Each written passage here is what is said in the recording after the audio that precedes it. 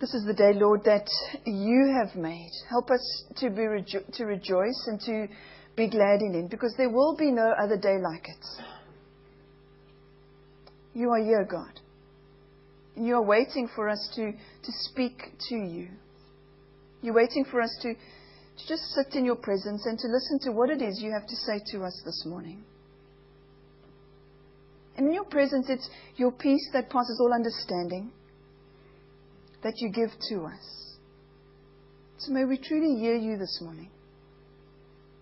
And may we experience your peace. We've come, God, into your holy presence, and we've come in faith this morning. We've come knowing that you know absolutely everything about this world and about our lives. You know what the next moment's going to bring. You know what tomorrow will bring. We've come come to talk to you. I've come to sing praises to you. I've come to read your precious and powerful word. And so, in this hour of worship, we humbly request that you would speak to us. We come humble and, and thankful because we are very conscious of the fact, God, that you are the creator, the sustainer, the redeemer, this world and our lives. You're the one that holds us in your hands. You're the one that we praise. You're the one that cares about us. You're all powerful and all knowing and all present. And it's into your presence that we've come. We've come expectant. We've come with joys and we've come with sorrows. We've come.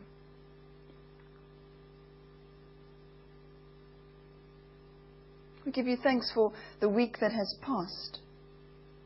We know that there have been moments of trouble and moments of hardship and pain and suffering for some people. But God, our confidence is that you will work in all circumstances and you will work for our good because that is your promise in your word. So, God, would you work in the face of the challenges that we do encounter? We acknowledge that the week the week that has passed. But we also know that there's a new week waiting for us. When we leave from the sanctuary this morning, we start a new beginning. And so we pray for the week that lies ahead.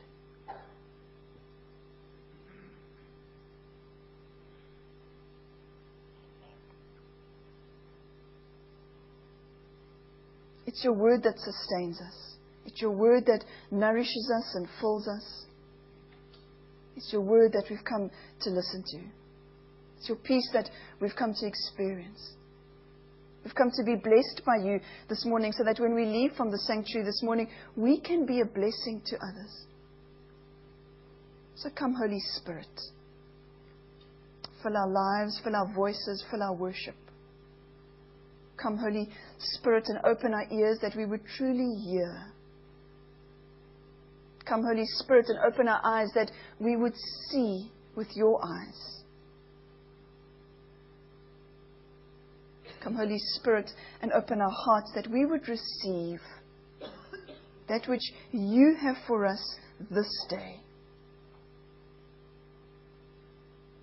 Great is your faithfulness, God. Morning by morning, new mercies we receive.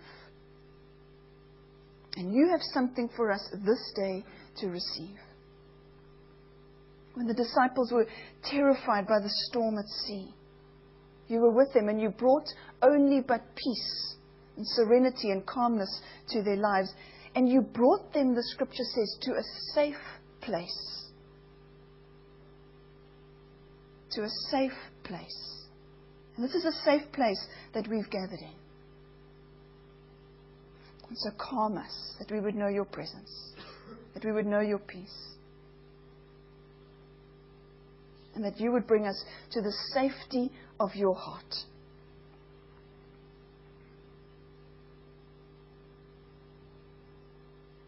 There is only one God. And He is able to do exceedingly, abundantly, above all that we could ask or think or ever imagine, according to His power that works within us. So work within us and do exceedingly abundantly in and through our lives, more than we could ever dream or imagine. In your name, Jesus, we humbly pray this morning. Amen. I'm going to invite those that are reading to come forward and do so, and kids, you can go off to, to Sunday school.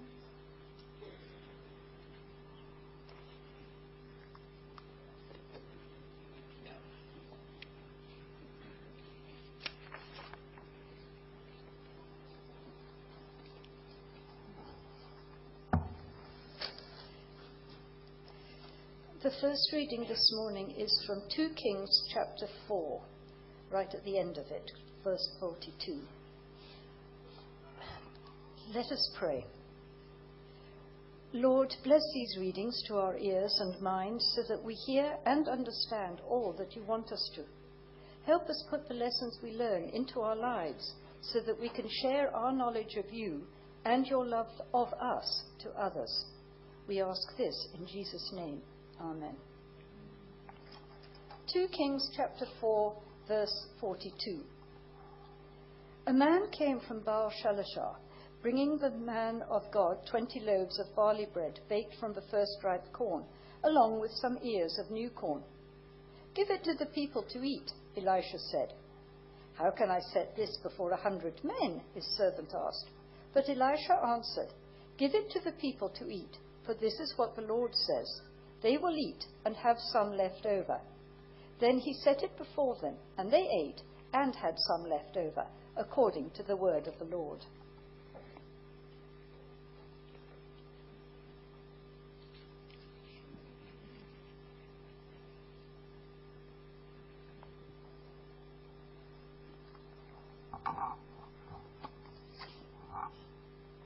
The second reading is taken from Ephesians chapter 3, verses 14 to 21. A prayer for the Ephesians. For this reason, I kneel before the Father, from whom the whole family in heaven and on earth derives its name. I pray that out of his glorious riches he may strengthen you with power through his Spirit in your inner being, so that Christ may dwell in your hearts through faith. And I pray that you, being rooted and established in love, may have power, together with all the saints, to grasp how wide and long and high and deep is the love of Christ, and to know his love that surpasses knowledge, that you may be filled to the measure of all the fullness of God. Now to him who is able to do immeasurably, immeasurably more than all we ask or imagine, according to his power that is at work within us. To him be glory in the church and in Christ Jesus throughout all generations, forever and ever. Amen. The Gospel this morning is John chapter 6. I'm going to read from verse 1 to 21. I'm also going to work from this text this morning. Well known stories. Sometime after this, Jesus crossed to the far shore of the Sea of Galilee, and a great crowd of people followed him because they saw the miraculous signs he had performed on the sick. Then Jesus went up on the hillside and sat down with his disciples. The Jewish Passover was near. When Jesus looked up and saw a great crowd coming towards him, he said to Philip, Where shall we buy bread for these people to eat? He asked this only to test him for he already had in mind what he was going to do. Philip answered, Eight months' wages would not buy enough bread for each person to have one bite. Another of his disciples, Andrew, Simon Peter's brother, spoke up. Here is a boy with five small barley loaves and two small fish, but how far will they go among so many? Jesus said, Make the people sit down. There was plenty of grass in that place, and the men sat down, about 5,000 of them. Jesus then took the loaves, gave thanks, and distributed to those who had seated as much as they wanted. He did the same with the fish. When they'd all had enough to eat, he said to his disciples, Gather the pieces that are left over, let nothing be wasted. So they gathered them and filled twelve baskets with the pieces of fish and the five barley loaves left over. After the people saw the miraculous sign that Jesus did, they began to say, Surely this is the prophet who is to come into the world. Jesus, knowing that they intended to come and, and make him king by force, withdrew again to a mountain by himself. When evening came, his disciples went down to the lake, where they got into a boat and set off across the lake for Capernaum. But night was dark, and Jesus had not yet joined them. A strong wind was blowing, and the waters grew rough. When they had rowed five or six kilometers, they saw Jesus approaching the boat, walking on the water. And they were terrified. But he said to them, It is I, don't be afraid. Then they were willing to take him into the boat, and immediately the boat reached the shore where they were heading. May God add his blessing to his word this morning. All of the readings laid out in the lectionary for this morning, the Old Testament, Paul's letter to the church in Ephesus, and the Gospel reading are all texts that I think any preacher would want to, to just um, deal with and expound to a congregation. But I've, I felt particularly led to work with the Gospel reading this morning. There's, as you would obviously know, there's lots one could say about that reading, but I'm just going to share a few thoughts that I pray will sustain you and strengthen you and give you some food for thought in the week ahead. So we read of the story of, of the feeding of the 5,000, and the very next verse after uh, John tells us that story, it's the story of Jesus walking on, on the water. Two miracle stories. But I think there's more than these stories being just about a miracle. I think John, the writer, the author, wants us to see the presence of Jesus. He wants us to see the presence of Jesus. In the feeding of the, of the 5,000, Jesus was teaching his audience, the crowd, that day. Something that would help them. Something that would be of help to them. Something that would help them cope in the midst of the storms of life. And these, these two stories, I firmly believe, are placed together by John for a reason. John wants you to believe in Jesus. That's the purpose of the Gospel of John. Everything is directed to the reader to believe in Jesus.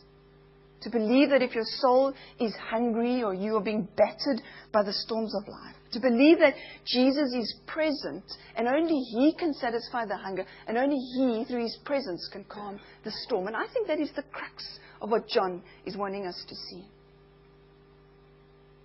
So, in the feeding of the 5,000, we meet Philip. Jesus says to Philip, Where shall we buy bread for these people to eat? And Philip looks and assesses the situation logically, and he sees it's pretty hopeless. And he, in his mind, he says, But there's nothing that can be done here. There's nothing that can be done here. He looks at the problem. There's 5,000 men. Now, most, a lot of them would have had wives, they would have had children. So historians tell us there probably could have been 15 to 20,000 people Philip's probably like any one of us. We would have looked at the situation, assessed it, and said, But our resources cannot feed and meet the needs of these people. This is hopeless. What are we going to do? Philip, in fact, says to Jesus in the Gospel, eight months' wages would not be enough to buy bread for each person here to even have one bite. And Philip, in that very moment, forgets that the man standing next to him, Jesus, he has a father. And his father is God who for Israel, when they wandered in the wilderness for 40 years, needed millions and millions and millions. You can do, you can do the maths if you've got time. Millions, tons of food a day to feed the Israelites. Millions of tons a day for 40 years to feed the millions of Israelites. He forgets. The man standing next to him has a father who did that. So Philip looks at the problem, sees it insurmountable in his eyes, and leaves Jesus out of the picture. The same thing happened on the Sea of Galilee. Sea is raging, the disciples panic and fear for their lives. And yet, just a few hours earlier, they have witnessed Jesus feeding the multitudes, solving an enormous problem. Twelve baskets of food, John tells us, are left over. And how many disciples are on the boat? 12. And I think with the 12 baskets of food that were left over, because they would have carried, history tells us that they carried food with them. So 12 baskets of food, 12 disciples on the boat, probably with these 12 baskets of food just kind of wedged between their legs to hold it tight. So each disciple, picture this in your mind. Each disciple is sitting there on this boat, sea raging around them, with a reminder of the power of God. Right there. With the basket in their hands. With a basket of, of miracle food. And in the midst of the storm, what do they say? God, please help us. We can't cope. We don't know what's going on. We're afraid. We're terrified. We may die. And they're holding a basket. We do the same. We sweat, we agonize about situations we can't handle in our own strength, and we forget that there's Jesus. And we forget what Jesus is capable of doing. We forget even what Paul said to the church in Ephesus that he's able to do exceedingly, abundantly, more than we could ever ask or imagine. I think Jesus wanted the disciples to learn that they mustn't face a problem in their own strength. They mustn't face their problems with their own resources, but they must include Him because when He's included, He changes circumstances. And maybe Philip should have said to Jesus, instead of saying to Jesus, What on earth are we going to do? How are we going to feed all these hungry mouths? Maybe he should have said, Lord, this problem is far too big for us. But for you, it's not. Paul understood that.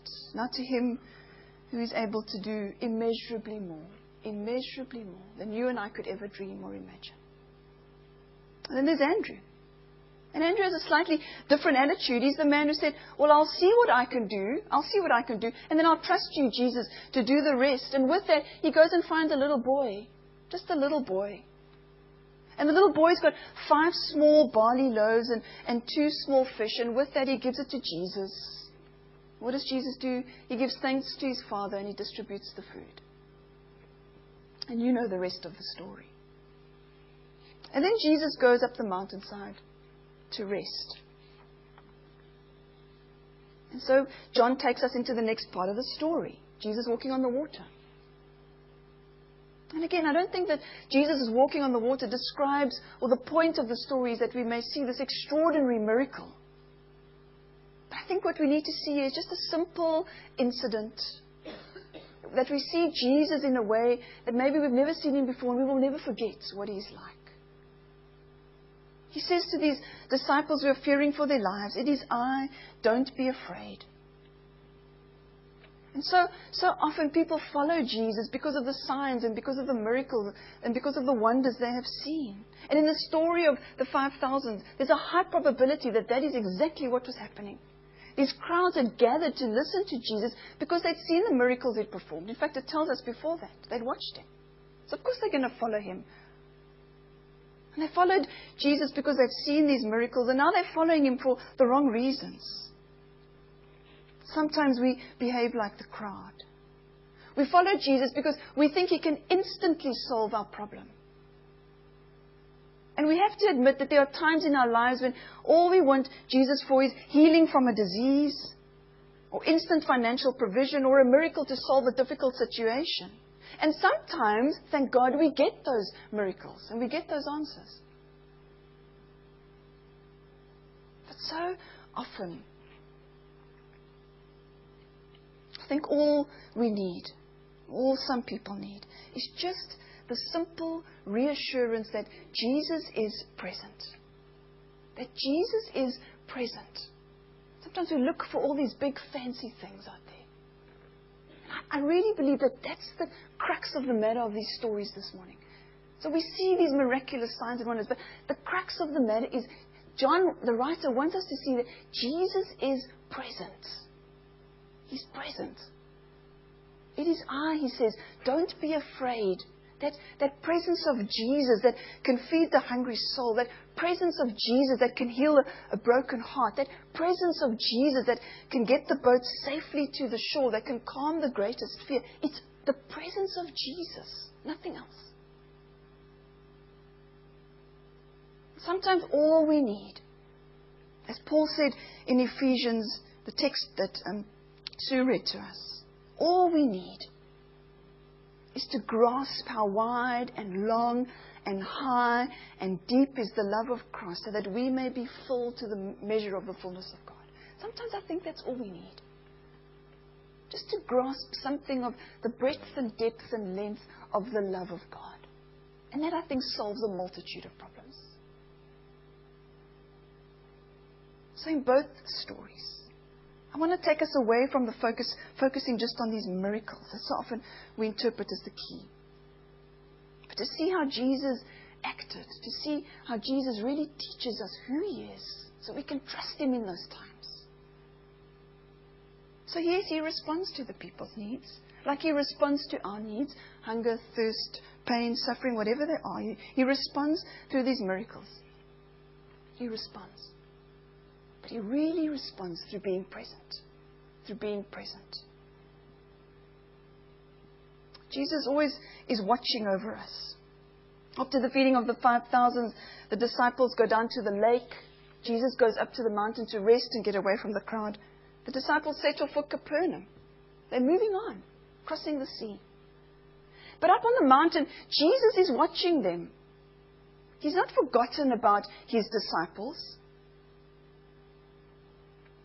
And in the moment of this, this crisis and fear for their lives, John the writer suddenly realizes that even while they're pulling their oars and struggling against the, the, the, the waves and the wind that's battering them, suddenly remembers, but Jesus is looking at them in this loving way, watching over them.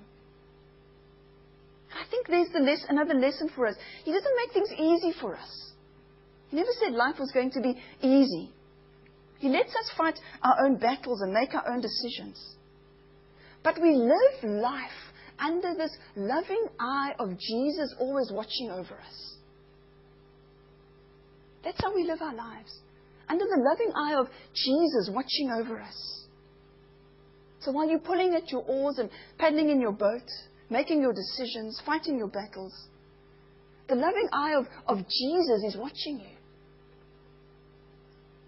And then Jesus comes comes down from the hillside to help his, his disciples in a crisis. Because Jesus doesn't watch us from a distance, He doesn't remain detached from us. When He sees our strength is failing, He comes. He comes. He always comes to us. Always in the storms of life as well. The words of God to Isaiah, chapter 43 and verse 2 When you pass through the waters, I will be with you. When you pass through the rivers, they will not sweep over you. They will not. They will not.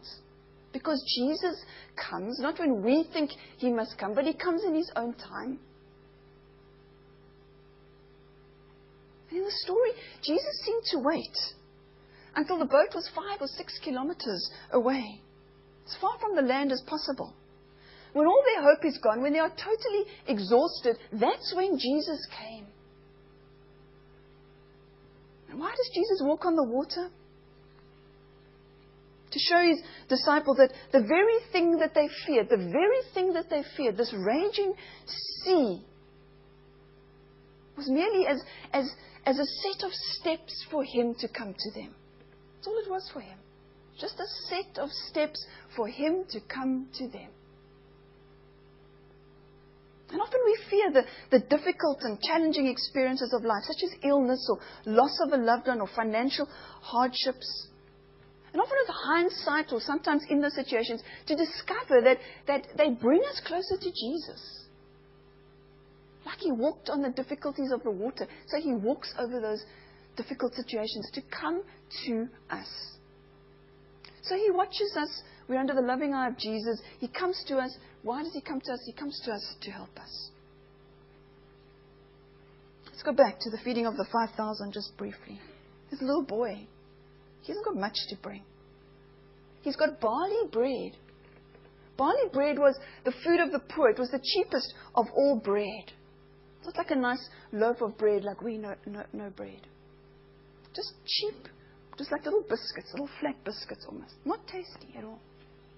And the fish that he brought to Jesus wasn't fresh hake or tuna or dorado or anything that we would think is delicious. They were little fish no bigger than smelly sardines bony little, probably not even tasty fish. That's what he bought. That was his packed, that was his packed lunch. And in those days, they had no refrigeration. So his mother couldn't have kept this fish, this fish fresh for a while, so they pickled their fish. So he had the smelly little bit of pickled fish and these tiny little biscuits of barley to eat his fish with. That's what he had. There's nothing fancy about that. But he takes this little insignificant amount of food and puts it into the hands of God. puts it into the hands of God. With the loving eyes of Jesus looking over this meal. And you know the rest of the story. Jesus always helps us. He always comes to help us. All we have to do is do what the little boy did. Just come in faith and put this little bit of brokenness or whatever it is we've got into the hands of God. Jesus watches. Jesus comes. Jesus helps. And that's the joy of being a Christian. It's of having Christ in our lives. We're never left to, to go through life alone. We have Christ as our ever present helper. Ever present helper who wants to help. And we place our gifts, we place our talents, we place everything in His hands. Everything in His hands. Our pain, our regret, our bitterness, our anger, we place it in His hands. As smelly and insignificant as it looks, we place it in His hands. And in His hands, He took bread and smelly fish and He multiplied it. And so He wants to take those things that eat away at our souls and He wants to replace it with His presence, with His healing presence. You all have something to put into God's hands, all, all of you. It's not one person here that doesn't have anything to put into the hands of God. You need to think and reflect about it this week. What is it that you need to put into the hands of God? And then lastly, He brought His disciples to a safe place. It's interesting how the story ends. It's really interesting.